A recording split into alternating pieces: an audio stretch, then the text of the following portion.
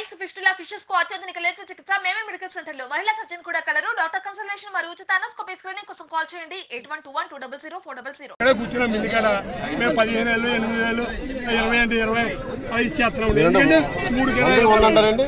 వందకి వంద అంటారండి? మూడు రూపాయలు వడ్డీ అండి. మూడు రూపాయలు వడ్డీయా. వందకి వందకి మూడు రూపాయలు వడ్డీ అదే మూడు రూపాయలు వడ్డీ. మూడు రూపాయలు వడ్డీ తెచ్చింది సార్ అప్పటికప్పుడు తిప్పపోతుంది అందరూ కౌలు రైతులు సార్. కోవిడ్ రైతు మీరు అందరూ లారీకి ఎనిమిది గంటలండి లెక్క. మూడు ఎనిమిది ఇరవై నాలుగు గంటలు మూడు ఎనిమిదిలు ఇవ్వాలండి. మూడు లెక్క. మనకు మూడు మూడు డబ్బులు ఇవ్వాలండి. మన పన్నెండు వేలు ఒప్పుకుంటే పన్నెండు ఇరవై ఒప్పుడు ఇరవై ఎంతో దూరం కదా? మూడు మూడు ఇరవై నాలుగు మూడు మూడు ఎనిమిది ఇరవై నాలుగు గంటలు కదా? మూడు లెక్క ఇవ్వాలండి మేము. ఆ బాధ భరించలేక వాళ్ళు పదిహేను ఇమ్మంటే పదిహేను ఇరవై ఇమ్మంటే ఇవ్వన్నా ప్యూర్ అందరు ఇచ్చేసారు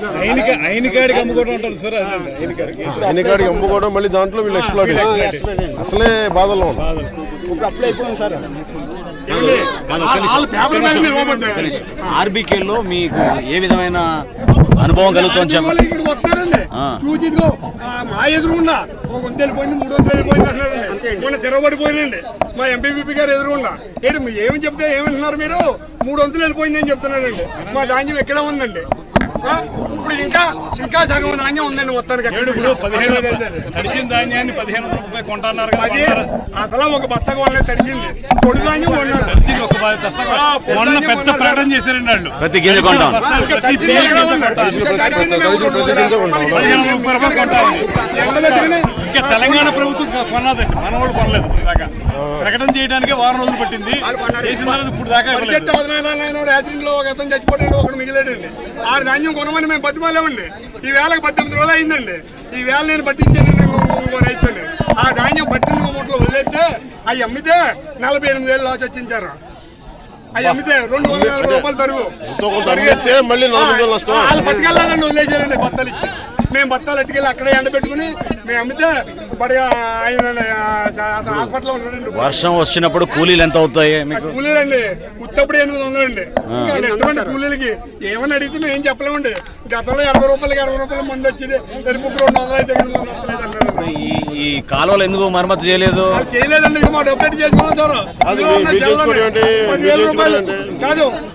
గుర్రపటెక్ అలాగే ఉంది దారి పడుతుంది. ఇంకా తీస్తున్నారండి పరిగా ఆరపదం వాళ్ళు ఇంపార్టెంట్ లాగించాం సార్. ఆరపదంలో కాదు మేము తలుపులు బిగించుకున్నామండి. మేము గవర్నమెంట్ తలుపులు మేము బిగించుకుంటామండి తలుపు తొంభై ఏళ్ళు లక్ష రూపాయలు. చా. మేము నాలుగు తలుపులు. ఇందులో మీరే రైతులందరూ మీరే. నాలుగు తలుపులు. చందాలు వచ్చేసి దానికి మీరే చందా వసూలు చేశారు? నేను నేనే దానికి? అంటే రైతు- సంఘానికా? కానీ మీరు డబ్బులు పోగు చేసుకుని మీరు చేయడం ఏంటి పనులు? రైతుకి తనే వెయ్యి రూపాయలు వేసుకుని మనం చేయించుకుంటామండి.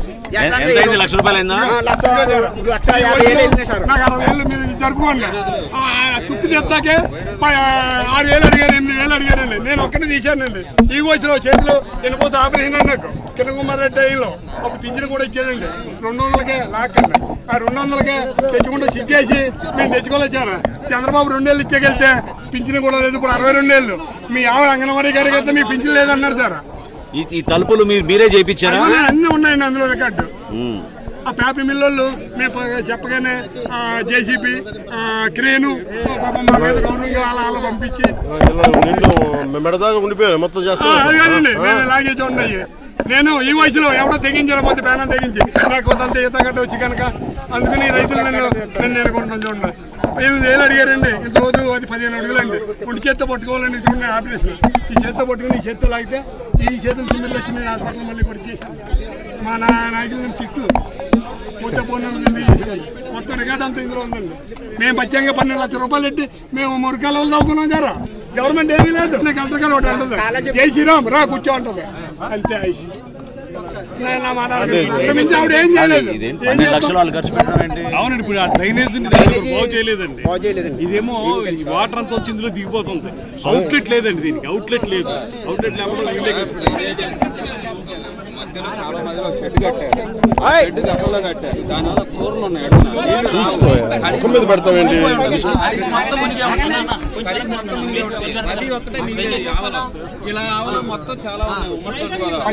మొత్తం ఉన్నాయి.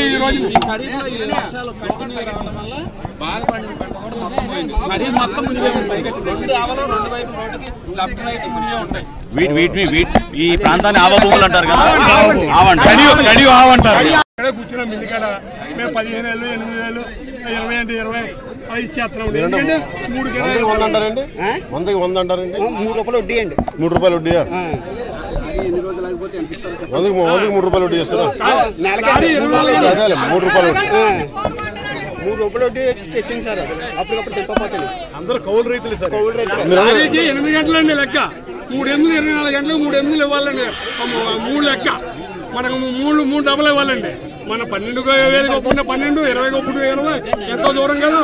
మూడు మూడు ఇరవై నాలుగు మూడు మూడు ఎనిమిది ఇరవై నాలుగు గంటలు కదా? మూడు లెక్క ఇవ్వాలండి మేము. ఆ బాధ భరించలేక వాళ్ళు పదిహేను ఇమ్మంటే పదిహేను ఇరవై ఇమ్మంటే ఇవ్వన్నా ఎక్స్ప్లోరేషన్ అందరు ఇచ్చేసారు అమ్ముకోవడం మళ్ళీ దాంట్లో వీళ్ళు ఎక్స్ప్లోర్ అసలే బాధల్లో ఉన్నారు ఇప్పుడు అప్లై అయిపోయింది సార్. ఆర్బీకేలో మీకు ఏ విధమైన అనుభవం కలుగుతుంది చెప్పండి. ఆ, మా ఎదురుగుండా ఒక వంద వెళ్ళిపోయింది మూడు వందలు వెళ్ళిపోయింది మొన్న తిరగబడిపోయిందండి మా ఎంపీపీ గారు ఎదురుగుండా ఏంటి మీరు ఏమి చెప్తే ఏమంటున్నారు మీరు? మూడు వందలు వెళ్ళిపోయింది అని చెప్తున్నారండి మా ధాన్యం ఎక్కడే ఉందండి? ఇప్పుడు ఇంకా ఇంకా సగం ధాన్యం ఉందండి మొత్తానికి. అక్కడ. ఇప్పుడు పదిహేను తడిచిన ధాన్యాన్ని పదిహేను వందల రూపాయలు కొంటున్నారు అది అసలు ఒక బత్తకు వాళ్ళే తడిచింది. పొడి ధాన్యం తడిచింది ఒక మొన్న పెద్ద ప్రకటన చేశారండి వాళ్ళు ప్రతి గింజ కొంటాం. కొంటాం. పదిహేను రూపాయలు కొంటారు. ఇంకా తెలంగాణ ప్రభుత్వం కొన్నదండి. మన వాళ్ళు కొనలేదు దాకా ప్రకటన చేయడానికి వారం రోజులు పట్టింది. చేసిన తర్వాత ఇప్పుడు దాకా ఒక అతను చచ్చిపోయాడు ఒకడు మిగిలేడండి. ఆరు ధాన్యం కొనమని మేము బతిమాలేమండి. ఈ వేళకి పద్దెనిమిది రోజులు అయిందండి. ఈ వేళ నేను పట్టించానండి ఇంకో రైతుని ఆ ధాన్యం పట్టింది మూటలో వదిలేస్తే అవి అమ్మితే నలభై ఎనిమిది వేలు లాస్ వచ్చించారు. అవి అమ్మితే రెండు వందల యాభై రూపాయలు తరుగు? వాళ్ళు పట్టుకెళ్ళాలండి వదిలేసారండి బత్తాలు ఇచ్చి. మేము బత్తాలు ఎట్టుకెళ్ళి అక్కడే ఎండబెట్టుకుని మేము అమ్మితే ఆయన అతను హాస్పిటల్లో ఉన్నాడండి వర్షం వచ్చినప్పుడు కూలీలు ఎంత అవుతాయి మీకు? కూలీలండి. ఉత్తప్పుడు ఎనిమిది వందలండి ఎటువంటి కూలీలకి ఏమని అడిగితే మేము ఏం చెప్పలేమండి. గతంలో ఎనభై రూపాయలకి అరవై రూపాయల మంది వచ్చేది సరిపుకు రెండు వందలు అయితే ఎనిమిది వందలు వస్తలేదు అన్నారు ఈ ఈ కాలువలు ఎందుకు మరమ్మతు చేయలేదు? చేయలేదండి మా డబ్బు ఎట్టి చేసుకున్నాం సార్? కాదు. కదా గు- గుర్రపు డెక్క అలాగే ఉంది దారి పడుతుంది నాకు ఇంకా తీస్తున్నారండి వాళ్ళు. Important లాగించాం sir. ఆరపదంలో కాదు మేము తలుపులు బిగించుకున్నామండి. మేము గవర్నమెంట్ తలుపులు మేము బిగించుకుంటామండి. తలుపుకి తొంభై ఏళ్ళు లక్ష రూపాయలు. మేము నాలుగు తలుపులు. రైతులందరూ మీరే. నాలుగు తలుపులు. చందాలు వచ్చేసి దానికి మీరే చందా రోజులు చేశారు. నేను నేనే దానికి ప్రెసిడెంట్ నేనేనండి రైతు సంఘం. రైతు సంఘానికి.